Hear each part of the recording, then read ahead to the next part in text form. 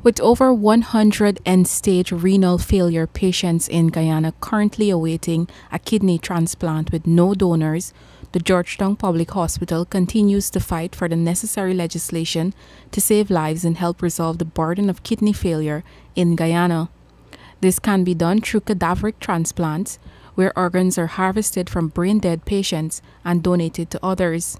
The Georgetown Public Hospital has the capability and equipment for this operation, but there is no legislation to govern it.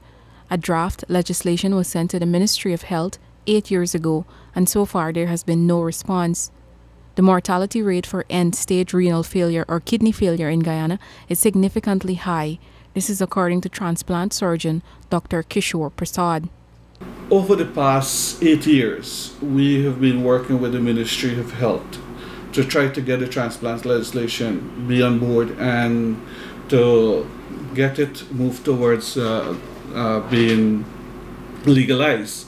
And what that legislation does, it covers the hospital, it covers the doctor doing the transplant, it covers the institution itself of the transplant center and everyone involved in, in the in the performing the transplant. They even cover the relative that will actually uh, participate in making decision to donate this organ. While there was no study done, Dr. Persaud suggested that if 100 persons are diagnosed with kidney failure, 80% of them die within two years. The most popular treatment for kidney failure in Guyana is hemodialysis, but this has proven to be very expensive. Dialysis is expensive patient cannot afford it. They go for one or two sessions, they skip, and then they go again when they feel once they feel better. They don't turn up for the dialysis. So because of the cost attached to it, they do not comply, and that is what's uh, causing our patient to die out. The most common causes for kidney failure worldwide are diabetes and high blood pressure. Dr. Persaud gives a breakdown of cases in Guyana. Diabetes and high blood pressure are the number one cause of chronic renal disease throughout the world. The, in the Caribbean is the same pattern we have been seeing.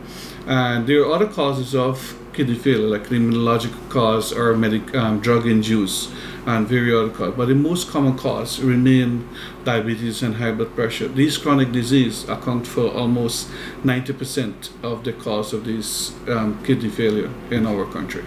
You tend to see kidney failure uh, in the caused by the immunologic um, causes of kidney failure. You see that in the younger age group, and around 20, 25, but predominantly they cause when kidney failure is caused by diabetes and high blood pressure. You see them around in their 50s and 60s. A total of eight successful kidney transplant surgeries were done in 2019 at the Georgetown Hospital. The patients are all healthy and living a normal life. This year we have only managed to do two kidney transplants, and that's because as soon as we finished the first two, the COVID 19 pandemic hit Guyana, and because of the re- uh, restriction and the operating schedule for the hospital, we are unable to proceed with any further transplant.